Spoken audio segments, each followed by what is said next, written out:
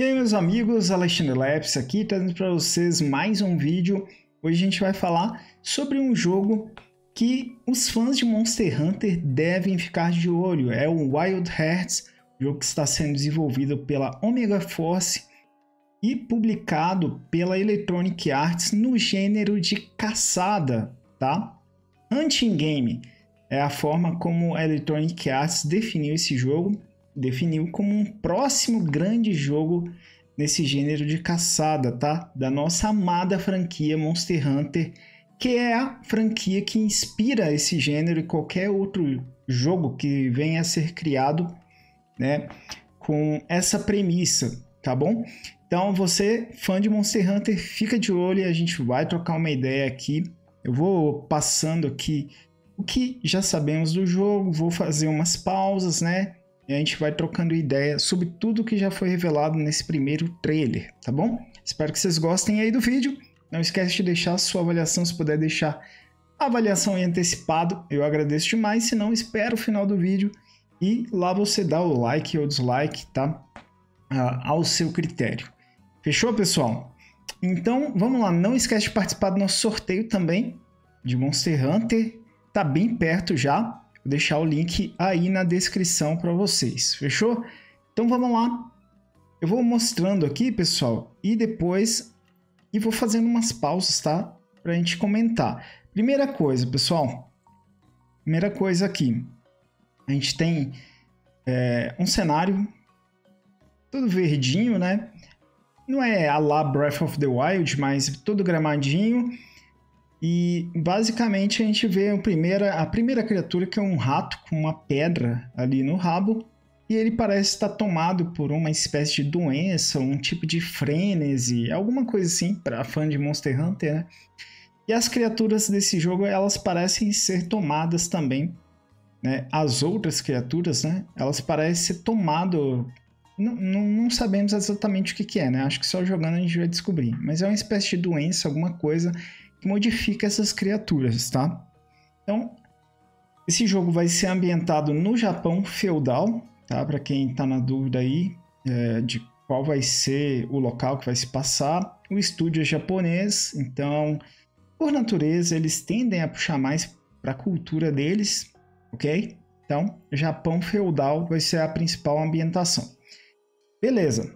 Seguindo em frente, a gente tem essa criatura aqui, é, um, é uma espécie de macaco com a pele toda reforçada. Em, é como se fosse uma pele dura, né? Meio parecendo até que é de pedra, né? E ele tem uma, uma um aspecto de ogro ao mesmo tempo que é um macacão, né? É uma espécie de Rajang desse jogo. E a gente já viu aqui uma Longsword do Monster Hunter, uma katana, né? Uh, que já tende a ser uma das armas preferidas de muita gente, então não à toa eles já mostraram de cara uma katana. E beleza. Ah, aqui a gente já vê a primeira ferramenta que a gente vai usar nesse jogo. Basicamente, esse jogo vai ter umas caixinhas, ele vai ter ferramentas e umas espécies de armadilhas, tá? Essa caixinha aqui, ela abre e o cara meio que sobe nela, ó e dá um golpe ali no braço de uma criatura enorme, né? A gente pode até pausar aqui, ó. Não dá pra ver muito bem, eu não sei se aquilo ali... Que criatura é essa, tá vendo? É um bicho gigante. Eu sei que ele usa de apoio essa caixa, pula e executa um ataque, né? Aí beleza. Aí tem umas criaturas menorzinhas. A ambientação tá bem legal, né, pessoal? Você vê que a ambientação bonitinha. Aí, ó, tudo coloridinho, ó, estilo ja japonês mesmo, né? Aí tem uma espécie de um coelhinho, né? Que tá modificado, parece estar tá tomado também. Tá vendo? Ó, aqui a gente vê uma, um, um pouquinho do cenário ali de fundo também. Tá bonitinho, tá bem feito, né? Essa, essa tomada do horizonte. A ambientação me agradou bastante. Aqui, galera, mostra um personagem usando uma espécie de guarda-chuva que parece que vai ser uma arma, tá? Quem lembra daquele, daqueles guarda-chuvas que a gente usa no Sekiro? uma proteção. No Sekiro a gente usa como proteção, né? Eu não sei se aqui vai ser usado como uma espécie de escudo também, ou se vai ser usado para bater. Num trechinho mais à frente, vocês vão reparar que eles usam é, esse guarda-chuva para bater também. Aí tem um pouquinho mais da ambientação, tem um personagem misterioso, ó, tem uma abordagem stealth no meio da grama ali. E aí tem um uma criatura gigante. Olha só. Aí mostra ele atacando, né? Mostra ele atacando e a gente vai ver o combate com o guarda-chuva, lá, correndo. Meio que a lá Naruto, né? Essa corrida aqui eu achei bacana, ó. A corrida é meio aquela de Longsword, meio Naruto, ó. Dá pra ver alguns golpes rápidos ali, tá vendo? Com guarda-chuva. Ó, a gente vê um golpe desse porcão que lembra as raízes lá do Lich Ancião, foi o crossover que rolou do The Witcher com Monster Hunter. Quem lembra lá, ele usa essas, um golpe parecido com esse que vai brotando raízes do chão, né? Tá vendo? Aí tem o rato, que a gente viu lá no início também, né? Ele dá um golpe giratório aqui. Ó, o golpe que ele dá meio que parece que brota uma árvore, tá vendo? Se liga. Ó, ele dá um golpe, brotou uma árvore ali. Aí tem um pássaro também. Tem uma criatura aqui que lembra Bloodborne, né? Lembra aquela, aquele, a, a, a Amélia, aquele bode que a gente enfrenta na igreja? Olhando assim de relance, parece ela, né? Tá vendo que é um bicho com a cara meio tampada assim? Com os pelos? Lembra, né? Posso estar ficando doido aí, mas... Aí tem um lobão também.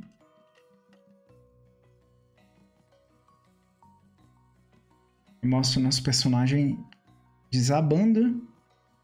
Ó, mais umas... Mais uma ferramenta. Tá vendo que, que brota umas caixinhas, né? Essa aí, ó, parece servir para enfrentar monstros maiores. Você meio que pega ali, é como se fosse uma espécie de um, um helicópterozinho, né? Não sei se é para você dar ataque, só dar um ataque aéreo ou se você consegue montar literalmente nas costas do monstro e atacar ali, né? Katana, tem o guarda-chuva, ó, esses golpes da katana aqui mostra muito pouquinho, né? Mas tá bonito, né? Pouquinho que mostra. Tá vendo? Dá pra pegar o impacto lá na, na, na parte de cima do, do macacão, ó. E na parte de baixo. Tá, parece que tá bem feito. Aí mostra o lobão mais uma vez, mostra três jogadores. Por que, que mostra três jogadores? Esse jogo ele vai ser Uh, você pode jogar ele solo ou até com três amigos, né? Diferente do Monster Hunter, que você pode jogar até quatro pessoas, aqui você pode jogar até três amigos.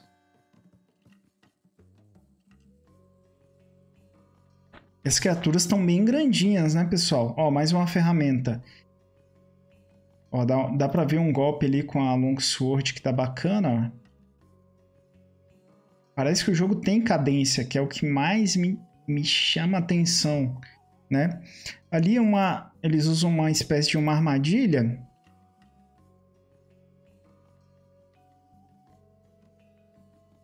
que é uma explosiva, né? Aí o monstro fica stunado no chão. Usa também uma armadilha para prender o monstro. Isso aqui lembra mais Horizon Zero Dawn, né? Tem uma armadilha parecida com essa.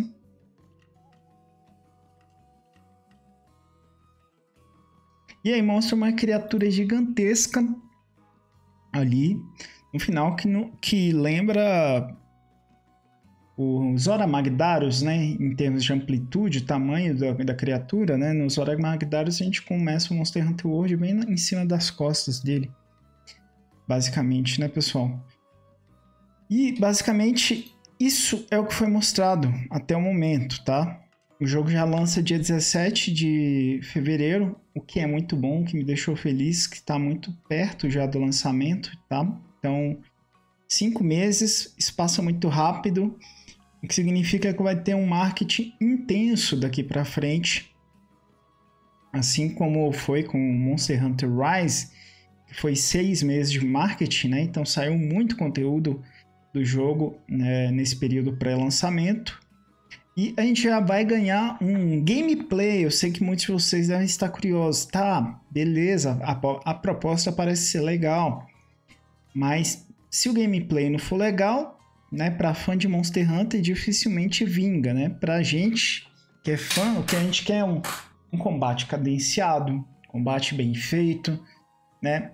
É, combate com as variadas armas que seja divertido e que não seja cansativo. Combate Monster Hunter é viciante. Você joga várias vezes, várias vezes, sempre tá aprendendo alguma, alguma coisa nova. Então, é isso que a gente quer desse jogo, né? E aí, ó, tem um gameplayzinho do arco. E a gente já vai ter um gameplay agora, dia, uh, daqui dois dias, dia 5, tá? Tô gravando esse vídeo hoje, dia 3, dia 5 de outubro, às 11 da manhã. Pela tarde, vocês podem vir aqui no canal e já vai ter meu vídeo mostrando esse novo gameplay e dando a minha opinião sobre isso. Tudo que sair desse jogo aqui, vou trazer para vocês, tá bom? É, é um excelente jogo aí. A, a, gente espera, né? Pelo menos eu torço como fã de Monster Hunter que tenha um jogo à altura. E cara, querendo ou não, pessoal, é só vantagem para quem é fã se você tiver um concorrente bacana, porque você acaba fazendo a desenvolvedora do outro jogo também continuar desenvolvendo coisas novas, criando coisas novas, melhorando sempre a qualidade, né? É bom. E quando tem um novo Monster Hunter da franquia principal sendo produzido, demora vários anos para sair, né? E hoje, basicamente o que sobra para o fã do Monster Hunter revisitar os jogos antigos, o que é excelente. Só que alguns desses jogos você só consegue jogar em emulador, né? Não tem disponível em todas as plataformas. Alguns são de plataformas muito específicas, até com o emulador é complicado.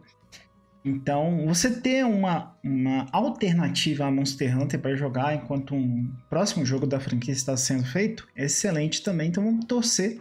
Vai ser bacana esse gameplay, tá?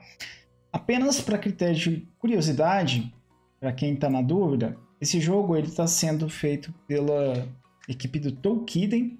É um é uma franquia que o pessoal compara muito com Monster Hunter justamente pela variedade de gameplay das armas, tá? Aqui, por exemplo, estou mostrando para vocês um gameplay da Long Sword deles, ó. Aí, ó, tem uma mecânica que parece até com Air Bug. Vocês viram ali, puxou e se aproximou do monstro, né? Então ele, ele é, essa desenvolvedora eles fazem uma mecânica similar, né? Não é aquele negócio arcadezão, faz um combate mais bem feito, tá vendo? O estilo que a gente está acostumado, ó. Tem mecânica, cada arma tem suas mecânicas próprias. Então, cara, se eles acertarem, fizerem algo bacana aí, esse Wild Hearts tem tudo para nós fãs de Monster Hunter, né?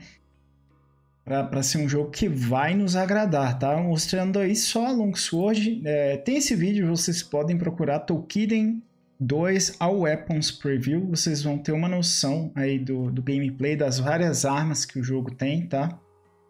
É bem bacana, bem bacana mesmo.